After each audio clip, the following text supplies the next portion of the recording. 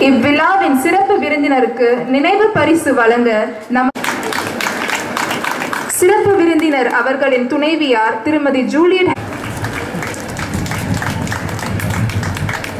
தொடர்ந்து அவர்களுக்கு நினைவு